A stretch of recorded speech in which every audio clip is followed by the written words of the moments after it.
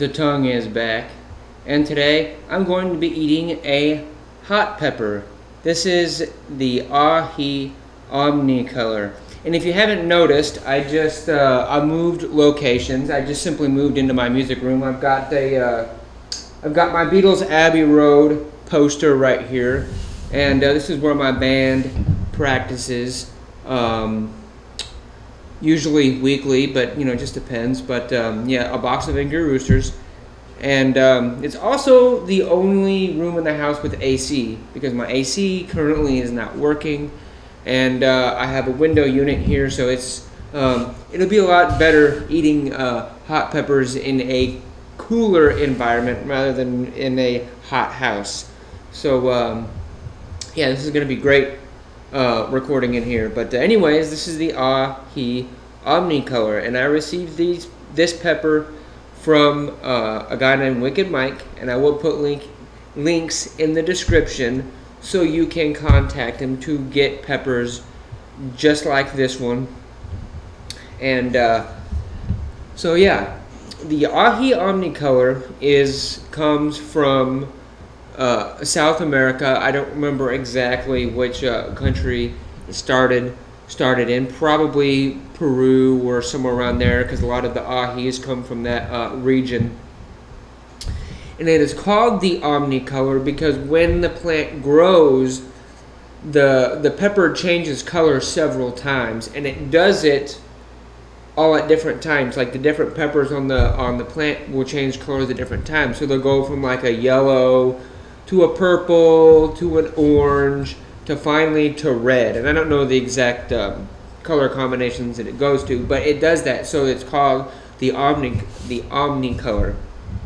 Now it's not. I don't know the Scoville numbers on this, but it is not generally a uh, uh, a very very hot pepper from what I understand. So, uh, but anyways, let's go ahead and get into this. Let's pull the stem off. By the way, I am loving the uh, aji pods. Um, they uh, they are uh, they're all capsicum baccatums, and they all just are. They're not very hot pods, but they're very flavorful pods. Um, know it's pretty small, but I still want to open it up and kind of see what goes on inside there. Close that knife, don't cut myself. Wow. Lots of seeds in this one. Try and get some of them seeds out. Bunch just kind of sitting right there at the top. I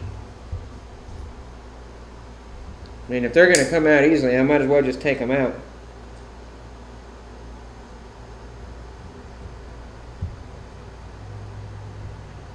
It wants to go.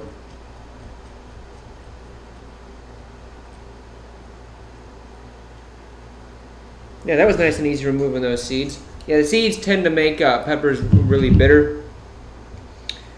And they don't really, and I think that's just about all of them. There might be some more seeds actually behind there, but uh, that's kind of what the inside looks like. Lots of placenta in there actually. For a smaller pepper, there's a lot of placenta. It looks to be nice and shiny, nice and oily. Um, very, oh, that is just wonderful smelling.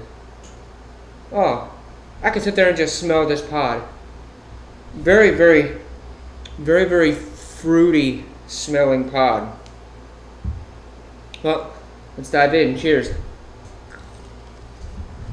Mmm. Wow.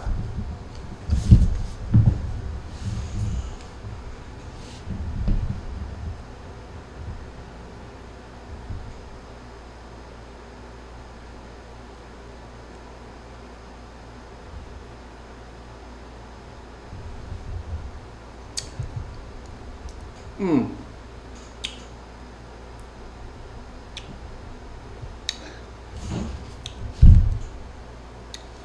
Try and get all of it. I get a piece like stuck in the back of my teeth. That was absolutely delicious. Very, very fruity with kind of a and kind of had a bit of an apple flavor to it. It didn't have that kind of tartness that you get from an apple. but it just had that generalized kind of apple flavor. Absolutely just delicious pod. I mean, I could sit there and just pop these all day. They're very, very small. Um, that's about the average length. That one, and you know, they're they're just you know, you know, only just a few centimeters or inches long or whatever. So smaller pods. They don't pack a lot of heat. Right now, this one, it's just on the tongue, but it's like a deep burn. It's not hot, but it's just it's just like a it's not a stingy burn. It's just it's just a nice like deeper burn. Like it's really you can tell it's kind of gone from on the top of the tongue to like down like the inside of the tongue and it's just enveloping it. Kind of like when you put um, I guess the only way to describe it is when you're putting um,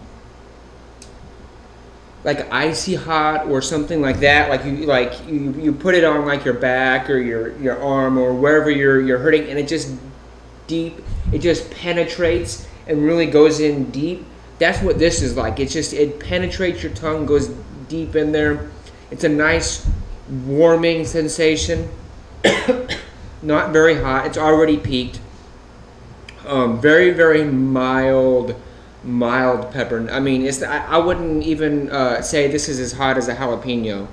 Um, about a one. I'd I'd probably give it a one, maybe a two on heat. I'd say I'd say well, I would give this one a one on heat, but on flavor, this thing knocks it out of the park. Very very fruity and kind of that appley type flavor. Very, very lovely pod. Um, this would make, um, this would be really good to cook with if you wanted something to give a lot, give it a lot of flavor, but not a lot of heat. This would this would add so much flavor to your dish, and you could add a whole bunch of them, you know, and just add a whole mess of flavor and a tiny bit of heat to your to your to your cooking. Amazing pod. Um, big thanks to uh, Wicked Mike for sending those pods uh, my way. You can get pods uh, for eighteen dollars. You can get a small flat rate box of pods, and you can order all one kind of pod. You can order um, several different kinds. You can order up to five different kind of pods, and for eighteen dollars, free shipping he will send you a box filled to the brim with pods in there. You can't get a you can't get a deal a better deal like that. That is a really good deal on uh, really good homegrown uh, peppers. So uh, thanks again for uh, Wicked Mike, and I will put links in the description so you can contact him to get peppers. And uh, thanks for watching, folks. Don't forget to keep it spicy and I will see you in the next video.